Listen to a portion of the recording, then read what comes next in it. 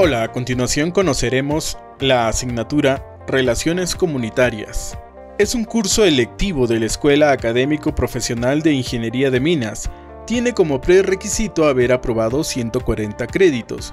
Su relevancia reside en brindar al estudiante la capacidad de planificar, organizar y controlar las relaciones comunitarias de una empresa minera, los contenidos generales que la asignatura desarrolla son los siguientes. Proceso de influencia social, redes sociales un proyecto minero, mapa de relaciones de poder, círculo de conflicto, estrategias de resolución de conflictos, planeación participativa. Al finalizar la asignatura, el estudiante será capaz de interpretar las relaciones entre las comunidades y las empresas mineras con el fin de mitigar los conflictos sociales entre ambos.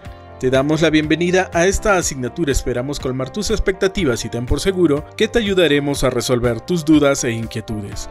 Una vez más, bienvenidos.